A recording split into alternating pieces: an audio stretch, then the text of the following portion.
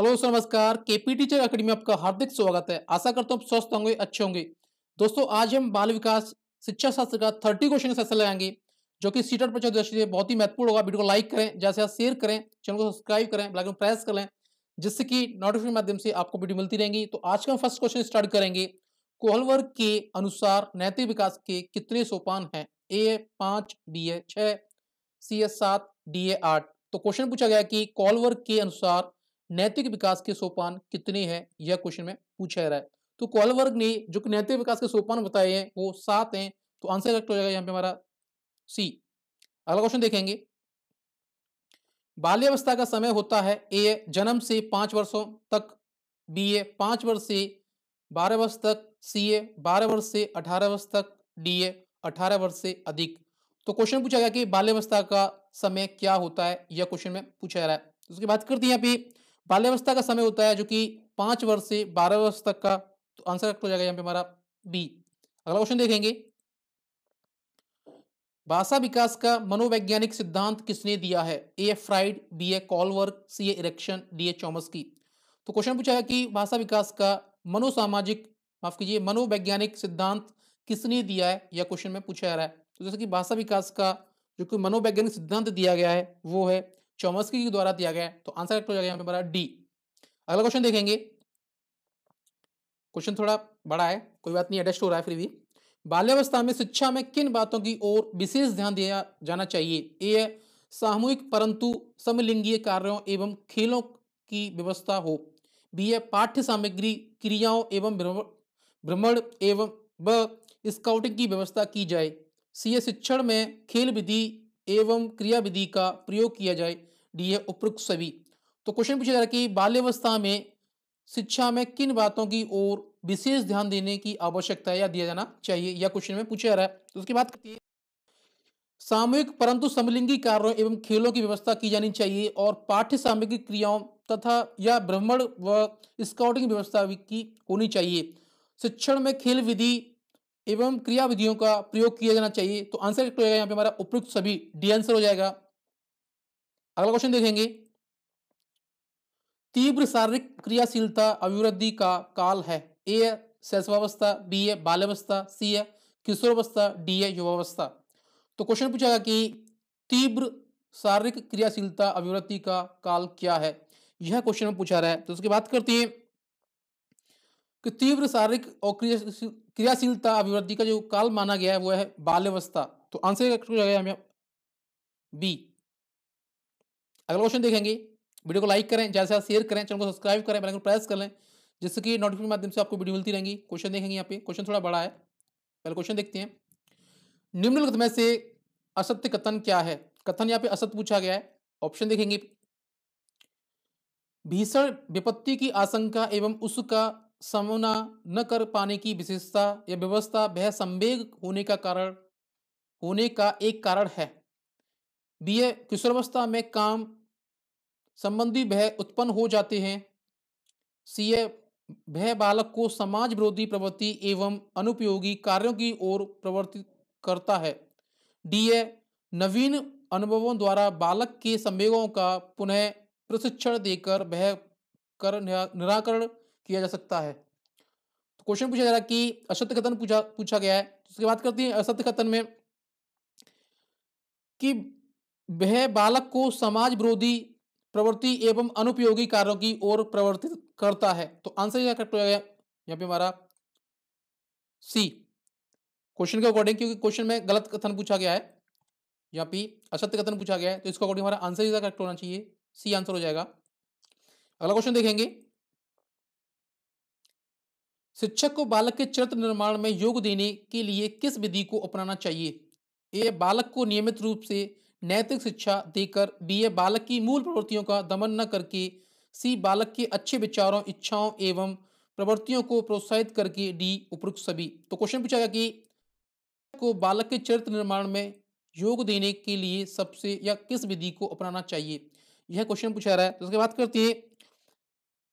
शिक्षक को बालक के चरित्र निर्माण में योगदान देने के लिए सबसे जो विधि होंगी, बालक को नियमित रूप से नैतिक शिक्षा देकर और बालक की मूल प्रवृत्तियों का दमन न करके, बालक के अच्छे विचारों व इच्छाओं, प्रवृत्तियों को प्रोत्साहित करते, करके तो आंसर करेक्ट हो जाएगा यहाँ पे उपयुक्त सभी डी आंसर अगला क्वेश्चन देखेंगे।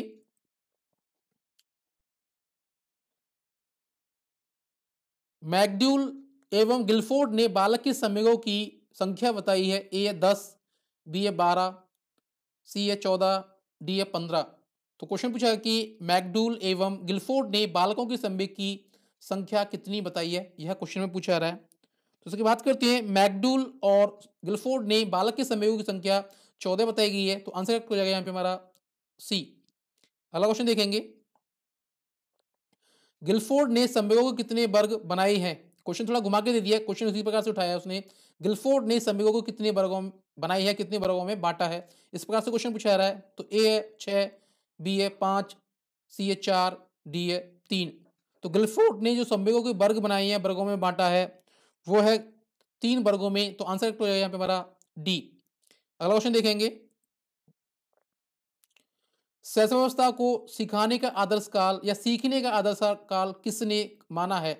ए क्रो एवं क्रो ने, बी एडलर ने, सी ए वॉटसन ने, डी ए वैलेंटाइन ने। तो क्वेश्चन पूछा गया कि व्यवस्था को सीखने का आदर्श काल किसने माना है या किस मनोवैज्ञानिक ने माना है? यह क्वेश्चन पूछा जा रहा है। तो इसकी बात करते हैं। वैलेंटाइन ने कहा कि अवस्था को सीखने का सबसे आदर्श काल वैलेंटाइन ने कहा कि बच्चा जो कुछ सीखता है वो बचपन में या शस्त्रावस्था में बन जाता है और उसके बारे में पता चल जाती है कि बच्चा आगे जाके क्या कर सकता है। वो सबसे अच्छा काल माना गया है। तो आंसर करेक्ट हो जाएगा हमारा डी अगला क्वेश्चन देखेंगे। अधिगम को सुगम बनाने वाले अनुभव है। ए, उद्भाषण, बी ए सहभागिता एवं अभिज्ञान, सी ए आंतरिकरण या अर्थपन व विस्तारीकरण। डी है उपयुक्त सभी। तो क्वेश्चन पूछा जा रहा है कि अधिगम को सुगम बनाने वाले अनुभव क्या है? यह क्वेश्चन पूछा जा रहा है। तो उसकी बात करते हैं। अधिगम को सुगम बनाने के लिए उद्भाषण, सहभागिता व अभिविज्ञान आंतरिकरण, अर्थपन एवं विस्तरण। तो यहाँ पे आंसर हो जाएगा। उपयुक्त सभी डी आंसर अगला क्वेश्चन देखेंगे।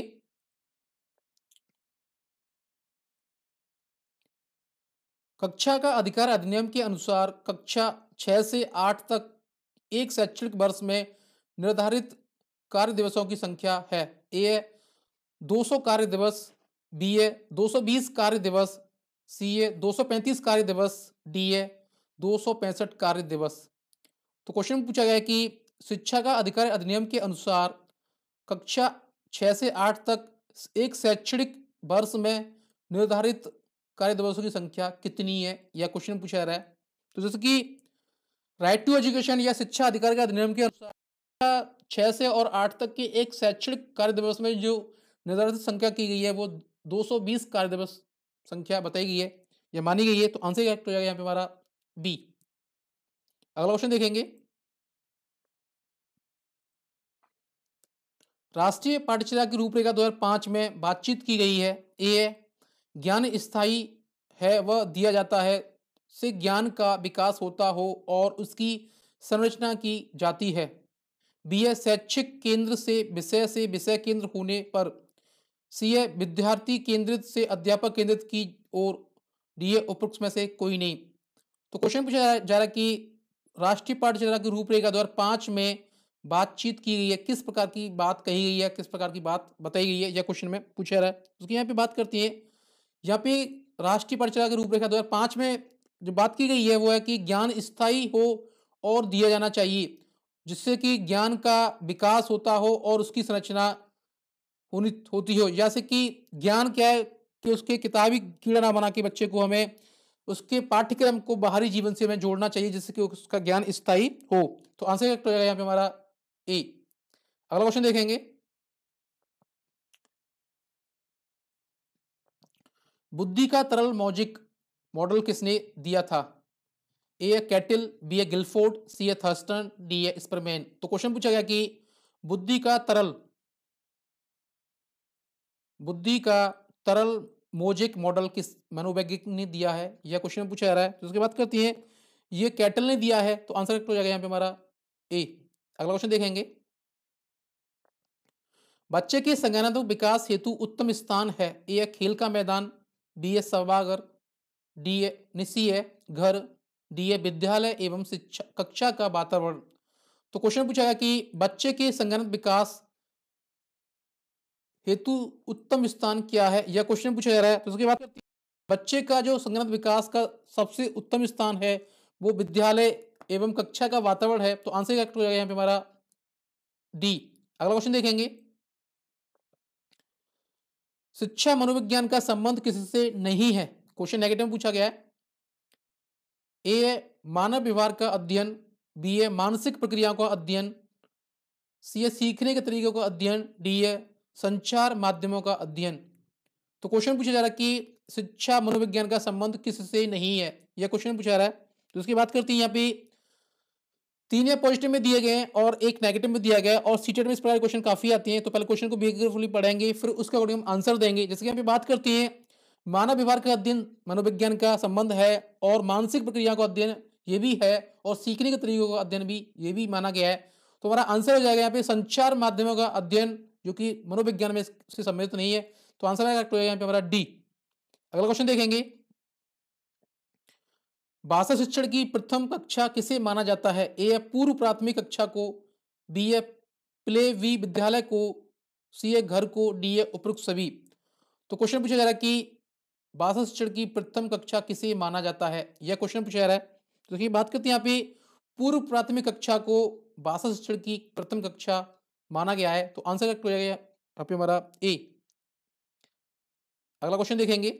वीडियो को लाइक करें, ज़्यादा से ज़्यादा शेयर करें, दोस्तों चैनल को सब्सक्राइब करें वाले प्रेस कर लें जिसकी नोटिफिकेशन माध्यम से आपको वीडियो मिलती रहेंगी। तो क्वेश्चन देखेंगे, कौशल को सीखने में पहली अवस्था होती है, ए है यथार्थ, बी ए चालाकी, सी ए समन्वयन डी ए अनुकरण। तो क्वेश्चन पूछा जा रहा है कि कौशल को सीखने में अवस्था क्या है? यह क्वेश्चन पूछा जा रहा है। तो उसकी बात करते हैं, कौशल को सीखने में जो पहली अवस्था मानी गई है, वो है यथार्थ। तो अवस्था आंसर करेक्ट हो जाएगा यहाँ पे हमारा ए। अगला क्वेश्चन देखेंगे। प्राथमिक मनोवैज्ञानिक जिन्होंने व्यक्ति को जन्म से ही क्रियाशील एवं सूचना प्रकमणित प्राणी माना है, A. Hull's, B. A. Jean प्यासे, C. A. Kohler, D. A. Norm काउंडर। तो क्वेश्चन पूछा गया कि प्राथमिक मनोवैज्ञानिक प्राथमिक मनोवैज्ञानिक जिन्होंने व्यक्ति को जन्म से ही क्रियाशील एवं सूचना प्रमणकारी प्राणी माना है, वो कौन से मनोवैज्ञानिक है? यह क्वेश्चन पूछा जा रहा है। उसकी बात करते हैं यहाँ पे कि जिन प्याजे ने प्राथमिक मनोवैज्ञानिक हैं, जो कि उन्होंने व्यक्ति को जन्म से ही क्रियाशील व सूचना प्रक्रमणित या प्रक्रमणित प्राणी माना है। तो आंसर करेक्ट हो जाएगा यहाँ पे हमारा बी अगला क्वेश्चन देखेंगे। बाल्यावस्था की विशेषता नहीं है।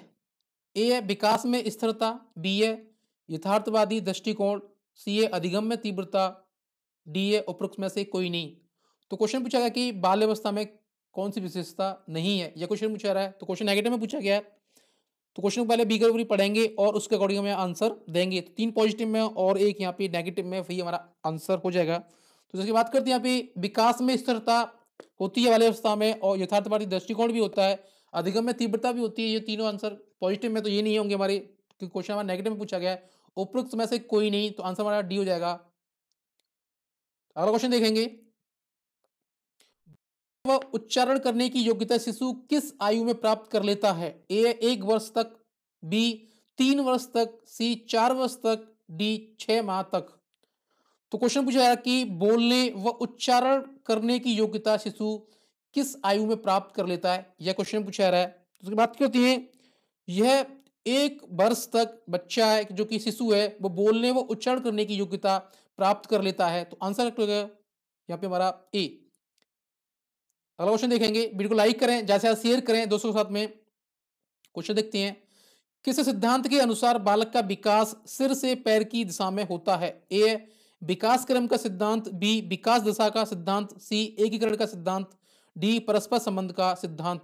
तो क्वेश्चन पूछा है कि किस सिद्धांत के अनुसार बालक का जो विकास है, वो सिर से पैर की दिशा में होता है? यह क्वेश्चन में पूछा रहा है। तो उसकी बात करते हैं यहाँ पे कि विकास दिशा का सिद्धांत है जो कि सिर से पैर की दिशा में होता है तो आंसर हमारा करेक्ट हो जाएगा यहाँ पे हमारा बी अगला क्वेश्चन देखेंगे।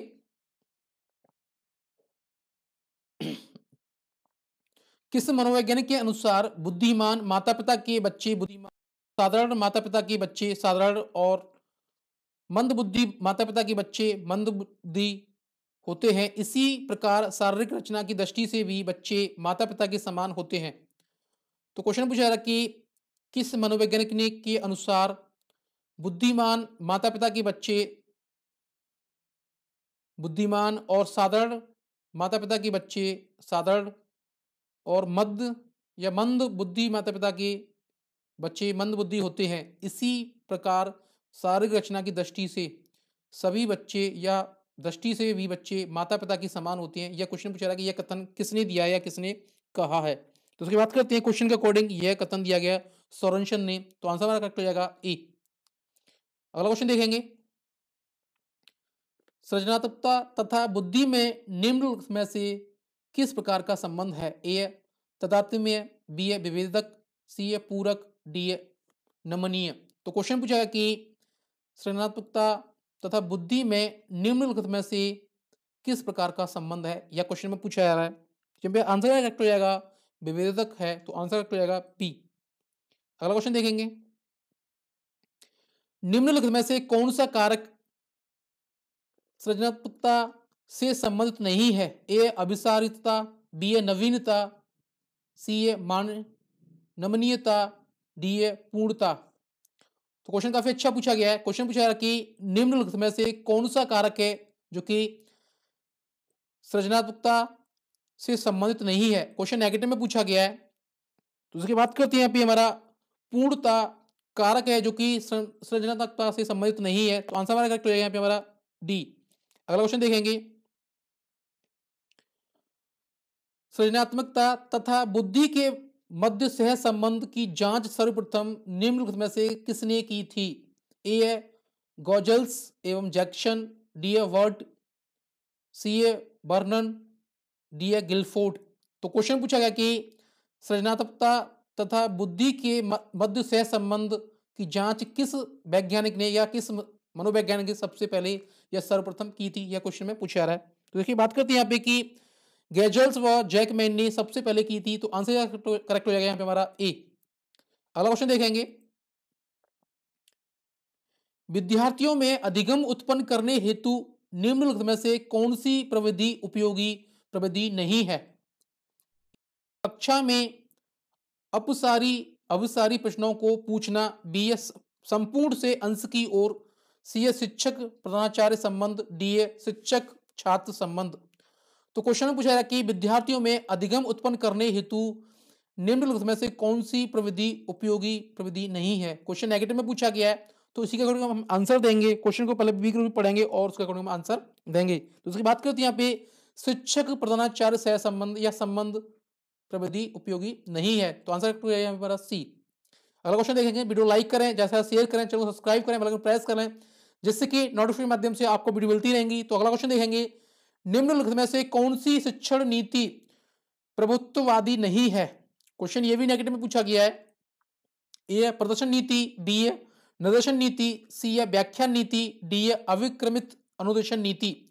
तो क्वेश्चन पूछा गया कि निम्नलिखित में से कौन सी शिक्षण नीति प्रभुत्ववादी नहीं है, यह क्वेश्चन में पूछा रहा है। तो उसकी बात करती है निर्देशन नीति है जो कि शिक्षण नीति प्रभुत्ववादी नहीं होगी तो आंसर करेक्ट हो जाएगा यहाँ पे हमारा बी अगला क्वेश्चन देखेंगे। निम्नलिखित में से कौन सा कथन बुद्धि के संदर्भ में असत्य है? असत्य कथन पूछा गया है तो ए हमें बुद्धि मानव मूल्यों को निर्धारित करने की योग्यता है। बी ए बुद्धि नवीन वातावरण के साथ समायोजन करने की या माफ़ कीजिए, बुद्धि नवीन वातावरण के साथ समायोजन की योग्यता है। सी ए बुद्धि अमूर चिंतन व सीखने की योग्यता है। डी ए बुद्धि का पोषण वातावरण में होता है। तो क्वेश्चन में असत्य कथन पूछा गया है बुद्धि के बारे में। तो जैसे बात करते हैं यहाँ पे कि बुद्धि मानव मूल्य को निर्धारित करने की योग्यता है। तो ये हमारा असत्य कथन हो जाएगा। आंसर यहाँ पे हमारा ए। अगला क्वेश्चन देखेंगे। शिक्षण अधिगम प्रक्रिया प्रबंधन के अंतर्गत मूल्यांकन निम्नलिखित में से किस पद के अंतर्गत समाहित है? ए, शिक्षण नियोजन, बी ए शिक्षण संगठन, सी ए शिक्षण अग्रसर, डी ए शिक्षण नियंत्रण। तो क्वेश्चन पूछा जा रहा है कि शिक्षण अधिगम प्रक्रिया प्रबंधन के अंतर्गत मूल्यांकन निम्न में से किस पद के अंतर्गत समाहित है? यह क्वेश्चन पूछा रहा है। तो उसकी बात करते हैं। शिक्षण नियंत्रण है जो कि शिक्षा अधिगम प्रक्रिया के प्रबंधन के अंतर्गत मूल्यांकन के पद से समाहित है तो आंसर करेक्ट हो जाएगा यहाँ पे हमारा डी दोस्तों सेशन हमारा हमारा यहीं पे समाप्त होता है। वीडियो को लाइक करें, जैसे शेयर करें, चैनल को सब्सक्राइब करें को प्रेस करें, जिससे कि नोटिफिकेशन माध्यम से आपको वीडियो मिलती रहेंगी। तो मिलती है नेक्स्ट सेशन में। जैन दोस्तों बंदे मातरम।